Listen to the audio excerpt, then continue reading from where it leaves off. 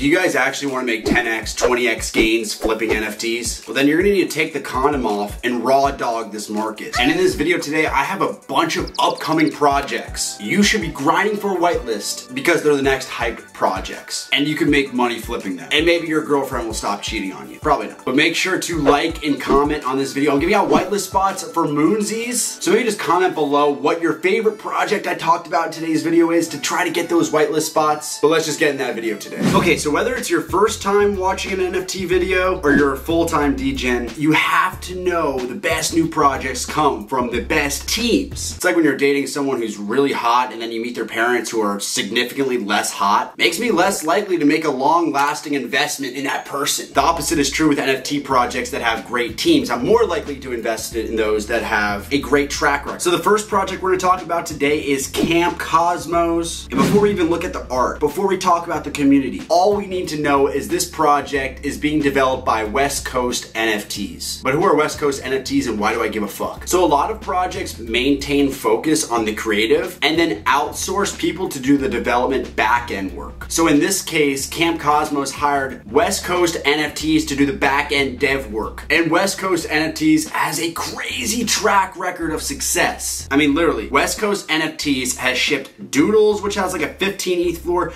MFers, which had like a 5 Floor at one point. They even helped Doodles successfully ship out their Dooplicator, which I didn't hear any FUD about. By the way, MFers, Doodles, any project West Coast NFTs has helped ship and develop, there hasn't been any minting exploits. There hasn't been excessively high gas. Really, there's been no FUD at all. They're also working on the Vayner Sports Pass, Aku Dreams, Mint. So whether it's AJ Vaynerchuk, whether it's Poopy Cat from Doodles or Sartoshi from Twitter, the best people in Web3 go to West Coast NFTs for their dev work. And if that wasn't enough, I actually really like the art. This isn't your typical like thick line, cute art. It leans a little bit more psychedelic than anything else, but there are a lot of different layers to this type of art here. Now, right now, there's not a ton of hype, which is what this channel is all about. Again, remember guys, we're all about the alpha before the alpha. Currently, they're giving out their camp list spots, and they've been providing the vibes. They've been doing Discord AMAs with music, answering tons of questions. So this is very open and transparent team. Here are some sneak peeks at the PFP art here, which again, it doesn't exactly look like the things that don't pump anymore, which is like the super cute thick line art. So I think this has a chance to do really well. Yeah, you can pick up the detail here. It looks really good. Make sure to follow their Twitter account because I actually know this for a fact. West Coast NFTs has tons of suitors. Literally hundreds of projects reach out to West Coast NFTs to do their dev work and they turn down hundreds of them. They only pick the best and that's why Camp Cosmos I think has a chance to be one of those upcoming projects that takes us by surprise. So with only 15,000 followers, I think you can still get in on this early, get camp list spots, and get to brag in all those discords about how early you were to this one. Speaking of being early, I can't believe how little followers this project has. Cosa Mostra is from Gabor Csupo. Okay, again, we're looking at teams, we're looking at artists. Why do I care about Gabor Csupo? Only 7,000 followers, probably not even followed by Gary Vee. Why do I care? Sometimes you guys just need to do your own research. With that being said, most of my research is done on Wikipedia, which always has accurate information. So Gabor Csupo, he was the co-founder of the animation studio Klasky Csupo, which produced shows like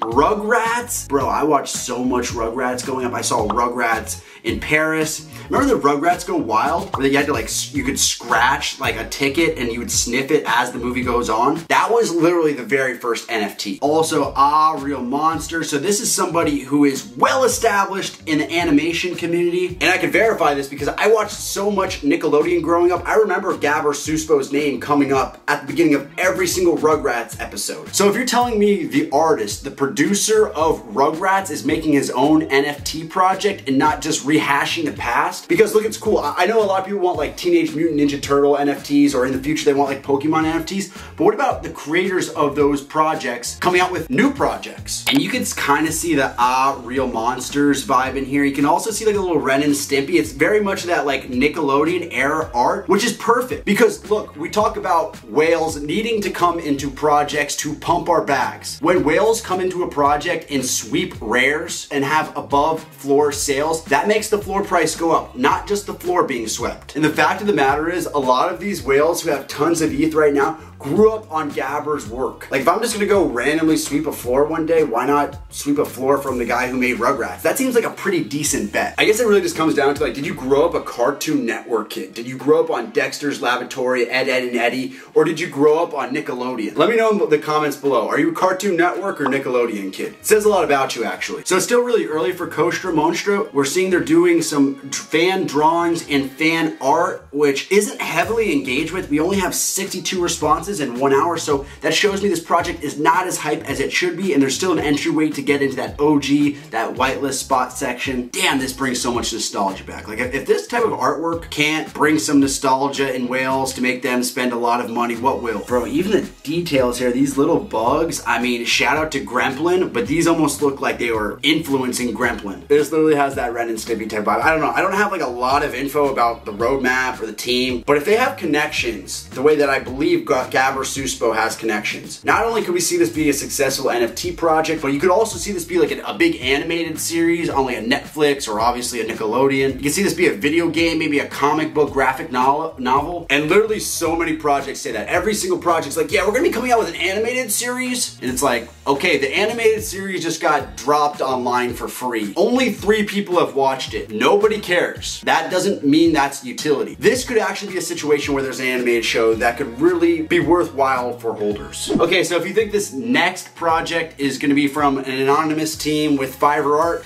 you're fucking wrong, cause fuck that. I'm talking about Rags to Richie by Alec Monopoly. So if you don't know Alec Monopoly, he's literally maybe the biggest artist in Miami. Every year at Art Basel, Alec Monopoly is one of the biggest conversations in town. When he throws a party in Miami, everyone tries to get into that. And Alec Monopoly is the artist behind this project, 10,000 of these hand-drawn by Alec Monopoly himself. And this kind of feels like one of those celebrity cash grab projects. But the fact of the matter is, I think actually having an NFT from Alec Monopoly could matter in years because he does have that social relevancy. You probably recognize Alec's artwork and the way he signs his name here. A lot of these in big cities, big enough to the point where in 2021, Alec Monopoly collaborated with Barstool Sports to sell exclusive merchandise. And while Alec Monopoly has been super successful, a lot of art critics, as you see here, have kind of looked down upon him. But I think the reason they look down upon him are what are the reasons why NFTs work. He's kind of reappropriating the Monopoly Man as his own, the same way a lot of NFT projects are reappropriating artwork into their own images. So there's 10,000 of these. The Discord hasn't come out yet. We don't know anything about the mint. Still really early, and I'm not like the biggest fan of this art. It looks pretty basic for somebody who has a war chest of resources like Alec Monopoly, but you're buying into an established artist, and this artist actually has resources that could be used to provide actual utility to holders, something to watch out for. Okay, real quick, two anime projects because it's not an upcoming 1000x NFT video unless I talk about anime projects, which are still doing well. So this first one is Spirit Gates by Jitty. He is a really popular painter and NFT artist. You can see 300 people I follow follow him, so he's definitely in the same circles among like the NFT micro niche influencer types. So again, anime meta with an already established great artist who has a footprint in Web3 and he throw in some art like this. You got some cleavage like that on the anime. Sorry, I shouldn't be fetishizing the artwork of Spirit Gates, but uh, I just came back from VeeCon where it was probably 98% men there, so sorry if I'm a little off. I haven't had my post-nut clarity yet, but really some fantastic art here to go along with the hype of an anime project and a really great artist. So this is one to watch out for. Giving out whitelist spots on this one currently. Another one in the same vein is Lorem NFT. Currently the Discord's closed. Not a lot of information on this one. It has an anime type feel to it. I'm gonna call everything anime because that's what pumps our bags more than like cartoons. But really vibrant colors here to go along with all the obvious lore they're trying to build out. And that's up to you. Do you like a project that's building out a back narrative, lore? Maybe that's not enough utility for you. This is supposed to be a project that's heavy on lore and heavy on great art. And whether or not you like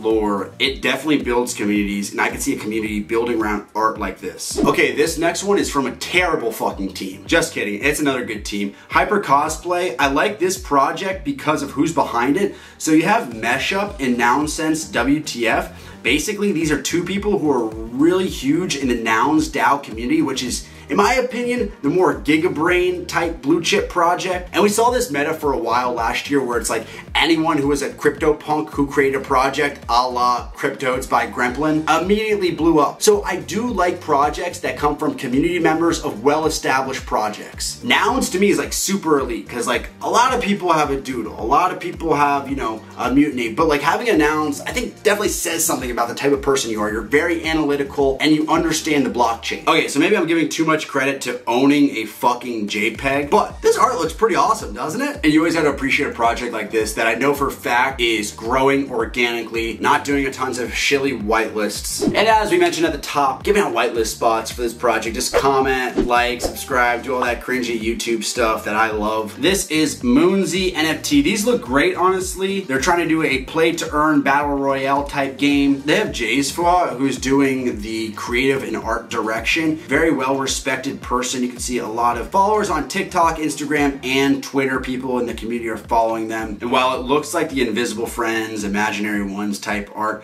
they're really trying to build this into much more of a community. It's not like, hey, here's the NFT, here's the art, this is the only cool thing about our project. They're using this brand to get into very different media avenues. So you got really great, cute artwork. You have branding opportunities. You have play to earn game opportunities. So if you want one of these whitelist spots, guys, comment comment, like, subscribe, don't be an asshole. Also on that note guys, make sure to jump onto FTX US. I have a link down there below, ftx.us, home, cool times, whatever. Click that, 10% off all trading fees so you guys can, you know, buy some crypto right now while it's on a dip, not have to spend as much money on other platforms. I think we raw dogged I think we crushed that one guys. Those are the hyped new projects you need to get on in ASAP because this market's moving. You just gotta keep up with it and pay attention to it. Make sure to comment, like, subscribe, do all that. Maybe you can win a whitelist spot. Who knows? Until next time, though, guys, remember to say gang, gang!